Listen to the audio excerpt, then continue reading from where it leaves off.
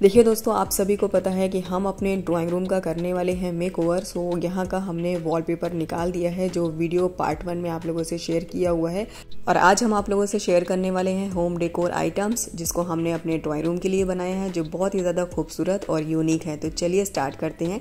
सबसे पहले देखिए, ये पुराना हमारा डी आई वास है, इसको हम कुछ नए तरीके से अब फिर बनाएँगे। यहाँ पे हमने लिया है चॉक पाउडर थोड़ा सा हम इसमें पानी डालेंगे और थिक पेस्ट बना लेंगे, क्योंकि जो वास का बेस है, उसको हमें स्मूथ करना है। आयरन शीट की हेल्प से इस पेस्ट को पूरे में फिल कर देंगे। मेक श्योर sure जब पेस्ट लगाएँ तो लेयर थीन होनी चाहिए अदरवाइज़ फिर पेंट करने के बाद ये निकल सकता है। तो देखिए, हमने पूरे में कवर कर दिया है और रख दिया है 24 फोर आवर्स के लिए। और ये अच्छी तरह से ड्राई हो चुका है। अब हम इस पर करने वाले हैं सैंडिंग सैंडिंग हम इसलिए कर रहे हैं क्योंकि जो भी इसकी रफ सरफेस है वो स्मूथ हो जाए।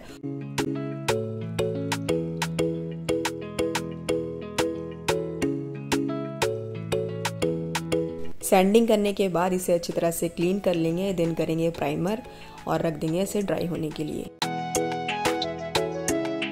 दोनों वास अच्छी तरह से ड्राई हो चुके हैं। अब हम इस पे लगाने जा रहे हैं ये पेबल्स जो हमारे पास वेस्ट पड़ा हुआ था। अब इस पेबल्स को लगाने के लिए हमने इस पे लगाया है फेविकॉल ये अच्छी तरह से स्टिक हो जाता है, निकलेगा भी नहीं। जस्ट जो मन में डिज़ाइन आइडिया आया, उस तरह से हमने इस पर क्रिएट कर दिया। जब ये अच्छी तरह से ड्राई हो गया तो हमने इस पर ब्लैक स्प्रे पेंट कर दिया, जो है डिको पेंट इससे फिनिशिंग बहुत ही अच्छी आती है और ड्राई होने के बाद अब हमने यहाँ पे लिया है ऑयल पेंट जो है गोल्डन शेड में. सो जहाँ जहाँ स्टोन हमने लगाए हैं, उतने ही पार्ट में हमें इसे पेंट करना है.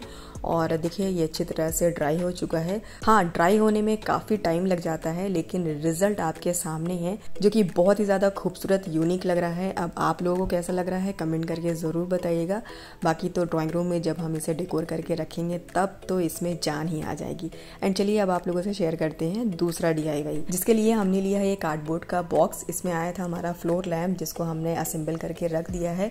अब क्या है कि इस टाइप के जब बॉक्स आते हैं तो हम उसे फेंक नहीं पाते हैं। मेरे मन में ना दसियों आइडिया आने लगते हैं और फिर हम इसे फेंक नहीं पाते हैं। सो so, आज जो नया आइडिया आया तो सोचा आप लोगों से शेयर करते हैं। सबसे पहले तो हमने इस तरह की दो शीट कट करके निकाल ली है। आप चाहें तो इस डीआईवाई के लिए प्लाईवुड का भी यूज़ कर सकते हैं, लेकिन क्या है कि वो सबके पास नहीं होगा। अब हमें इसके लिए चाहिए ये बकरम क्लॉथ जो मार्केट में बहुत ही ईजिली कम पैसों में मिल जाता है। आई थिंक पाँच दस रुपये मीटर में ये मिलता है, जिसको हमने दो मीटर में बाई किया था। और इस तरह से हमने देखिए कट कर लिया है एक एक इंच चारों साइड से बढ़ाते हुए। अब हम इसको कार्डबोर्ड में चारों तरफ़ से हॉट ग्लू गन की हेल्प से स्टिक कर देंगे। तो देखिए ये हमने बनाया है कैनवस बोर्ड जिसको आप इजीली घर पे बना सकते हैं और जो भी पेंटिंग करना हो कर सकते हैं। सो so, फ़िलहाल के लिए हम इस पर करने जा रहे हैं टेक्सचर पेंटिंग सबसे पहले तो हम इसके चारों साइड लगा देंगे मास्किंग टेप इस टेप को हमने इसलिए लगाया है ताकि पेंटिंग में परफेक्ट फिनिशिंग आए और एक बॉर्डर भी बन जाए। तो देखिए, दोनों कैनवस बोर्ड बन के रेडी है। मास्किंग टेप हमने लगा दिया है। थोड़ा सा कम पड़ गया था तो सेलो टेप हमने इस वाले में लगा दिया। अगर आपके पास भी नहीं है तो सेलो टेप की भी हेल्प ले सकते हैं। यहाँ पर हमने बॉल पुट्टी में थोड़ा सा फेविकोल मिक्स किया था और पानी एक थिक पेस्ट बना लिया। ना बहुत थीन ना बहुत थिक होना चाहिए और अच्छी तरह से इसे मिक्स कर लिया।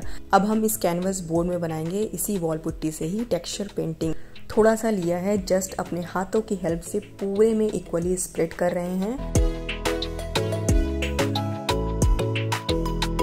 स्प्रेड करने के बाद यहाँ पे आयरन शीट की हेल्प से इसे स्मूथ कर रहे हैं। कहीं पे भी मोटा पतला नहीं होना चाहिए, नहीं तो टेक्सचर अच्छा नहीं बन के आएगा। अब हम यहाँ अपनी फिंगर की हेल्प से डिज़ाइन क्रिएट कर रहे हैं। आपके मन में जो भी आइडिया आ रहा हो, उस तरह से इस पर टेक्सचर बना सकते हैं। मेक श्योर sure बस उसका टेक्सचर थोड़ा उभरा हुआ होना चाहिए। इसकी जगह आप स्पून की भी हेल्प ले सकते हैं। अब देखिए डिज़ाइन क्रिएट करने के बाद मास्किंग टेप को हमने निकाल दिया और रख दिया उसे ड्राई होने के लिए। दूसरी डिज़ाइन के लिए हमने उस सेम उसी प्रोसेस को रिपीट किया है। थोड़ा सा लेने के बाद पूरे में इक्वली स्प्रेड कर लिया है। ये पेंटिंग मार्केट में बहुत एक्सपेंसिव मिलती है, लेकिन अगर आप घर पर ट्राई करना चाहें तो बहुत ही सिंपल है इसे बनाना। आप देख सकते हैं जिस तरह से हम बना रहे हैं। चलिए स्मूथ करने के बाद यहाँ पे हमने लिया है कॉम्ब जो बहुत ही ईजिली सभी के घर में मिल जाता है। सिंपल बोहो वाली डिज़ाइन यहाँ पे हमने क्रिएट किया है इस कॉम्ब की हेल्प से। जो मोटा वाला कॉम्ब आता है, उसी कॉम्ब को ही हमने लिया है। चलिए, इसकी भी डिज़ाइन बन चुकी है। टेप को हम निकालने के बाद ये दोनों कैनवस पेंटिंग को रख देते हैं ड्राई होने के लिए और जब ये ड्राई हो जाएगा, तब हम आगे का प्रोसेस कंप्लीट करेंगे। अच्छी तरह से सूख जाने के बाद यहाँ पे हम कर रहे हैं वाइट पेंट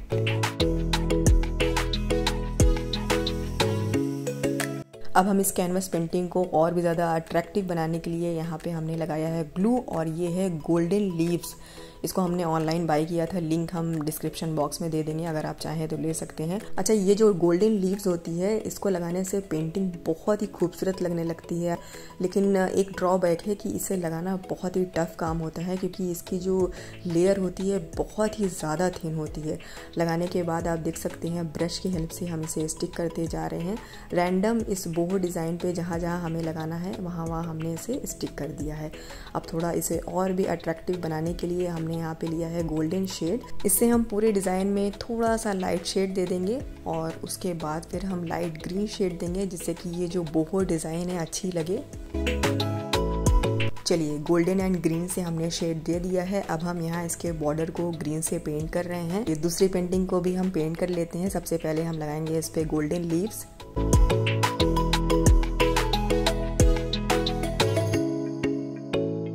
सो पूरे में लीव्स लगाने के बाद ब्रश की हेल्प से बची हुई लीव्स को हम यहाँ पे क्लीन कर रहे हैं। अब जैसे पहले वाली पेंटिंग में हमने दो शेड यूज़ किया था, उसी तरह से हम इस पर भी यूज़ करेंगे ग्रीन एंड गोल्डन शेड क्योंकि दोनों हमारी जो टेक्सचर पेंटिंग है, उसको मैच करते हुए हम एक जगह लगाएँगे। सो अब चलिए दिखाते हैं दोनों टेक्सचर पेंटिंग कंप्लीट होने के बाद किस तरह से लग रही है। लग रही है ना खूबसूरत? तो देखा कितना सिंपल तरीके से हमने घर पे टेक्सचर पेंटिंग क्रिएट किया और साथ ही साथ हमने कैनवस बोर्ड भी बनाना सिखाया। सो अगर अच्छा लगे तो आप लोग भी ज़रूर ट्राई कीजिएगा। चलिए, अब हम आप लोगों से शेयर करने जा रहे हैं अपना तीसरा डीआईवाई जिसके लिए हमने लिया है ये आयरन का सर्कल जिसको हमने वेल्डिंग शॉप से बनवाया था। अगर आप आयरन का सर्कल नहीं लेना चाहते हैं तो कार्डबोर्ड से भी इस तरह सर्कल बना सकते हैं। और यहाँ पे हम वाइट से पेंट कर रहे हैं। पेंट करते टाइम छुटकू देख रहे थे तो भाई इनका भी मन कर रहा था। हमने कहा, चलो भाई, इनसे भी करवा लेते हैं। पूरे सर्कल को हमने वाइट से पेंट कर लिया है, अच्छी तरह से ड्राई हो चुका है। अब हमने यहाँ पे लिया है ये सैटन की वाइट रिबन और इसकी हेल्प से हम पूरे सर्कल को कवर कर देंगे।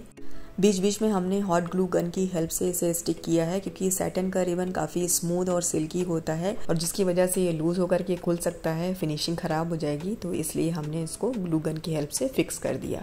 एक्चुअली इसका डी हम काफ़ी टाइम से सोच रहे थे करेंगे करेंगे लेकिन क्या है कि बहुत ही ज़्यादा इसमें टाइम टेकन था इसलिए हमने सोचा था कि जब हम ड्राइंग रूम का मेकओवर करेंगे तभी इसको बनाएँगे। सो so, ये हमारा सबसे फेवरेट डीआईवाई होने वाला है। होप सो आप लोगों को भी अच्छा लगे।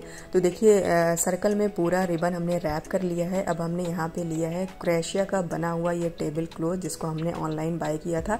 यहाँ पे हम आ, ये जो फ्लावर्स बना हुआ है उसको फैब्रिक पेंट से शेड दे रहे हैं। Blue green yellow red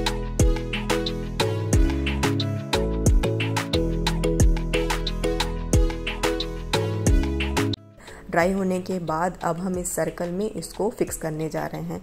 तो ये जो ऊपर से राउंड राउंड डिज़ाइन बना हुआ है, उसी को ही हम पहले चारों साइड थ्रेड से लगा लेंगे और फिर उसके बाद हम जितने भी डिज़ाइन दिए हुए हैं, उसमें एक एक करके थ्रेड को नॉट लगाते जाएँगे ताकि ये अच्छी तरह से फिक्स हो जाए।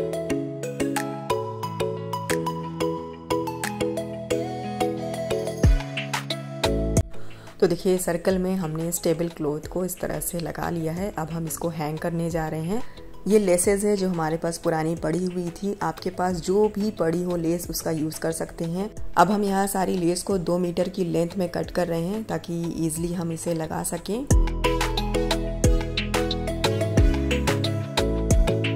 चलिए अब इसे दिखाते हैं कि किस तरह से हमने इस आयरन सर्कल में फिक्स किया है। जस्ट इसको हमने डबल किया है और डबल करने के बाद ऊपर से लाते हुए नीचे से रिबन को निकाल लिया है। इसी तरह से हमने पूरे में लगा दिया है।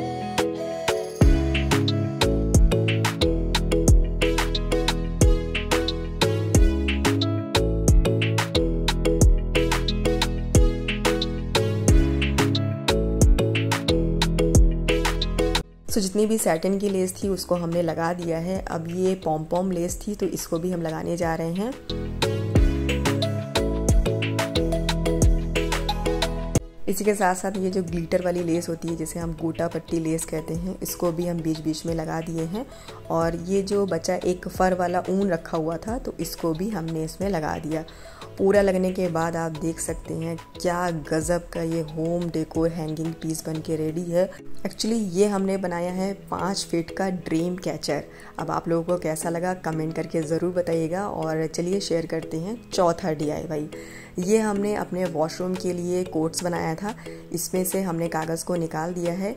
वाइट पेंट कर रहे हैं। पेंट ड्राई होने के बाद हम इसके मिडिल में एक लाइन ड्रॉ कर रहे हैं और इसके ऊपर वाले पोर्शन में हम पेंट कर रहे हैं ब्लू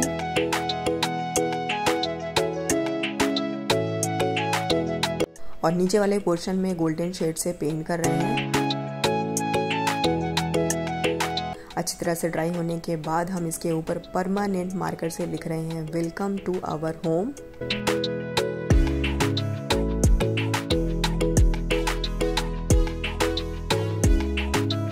पूरा लिखने के बाद वेलकम को हम यहाँ गोल्डन शेड से हाईलाइट कर दिए हैं। अब ऊपर वाले पोर्शन में जितने भी आर्टिफिशियल लीव्स एंड फ्लावर्स है, उसको हॉट ग्लू गन की हेल्प से हमने स्टिक कर दिया है। और ये देखिए कितना खूबसूरत ये डेकोर पीस बन के रेडी है, जिसको हम लगाएँगे अपने, बताएँगे आप लोगों से ड्राइंग रूम मेकओवर में। एंड चलिए अब आप लोगों से शेयर करते हैं अपना लास्ट डी जो कि है ये वॉल क्लॉक एक्चुअली इस वॉल क्लॉक की डिज़ाइन शाही अंदाज में बनी हुई है, लेकिन क्या है कि इसके मिडिल में जो ये व्हाइट पेपर लगा हुआ है, इससे इसका लुक अच्छा नहीं आ रहा है. इसलिए सिंपल हमने इसको खोल के पेपर को हटा दिया है. अब क्या है कि इसका जो बेस है वो ब्लैक है और ब्लैक इसके निडल है तो इसलिए इसके निडल को जस्ट हमने गोल्डन शेड से पेंट कर दिया है ताकि नज़र आए. सो so, बहुत ही सिंपल तरीके से हमने इसका डी किया है जो हमें बहुत ही ज़्यादा अब अच्छा लग रहा है। सो so, ये था आज का हमारा D I Y drawing room makeover part two video कैसा लगा आप सभी को ज़रूर बताइएगा। चैनल पे कोई नया आया हो तो सब्सक्राइब कर लीजिएगा। वीडियो को लाइक शेयर ज़रूर कर दीजिएगा। चलिए फिर मिलेंगे बहुत जल्द ड्राइंग रूम मेकओवर के साथ। तब तक के लिए आप सभी अपना ख्याल रखिए। बाय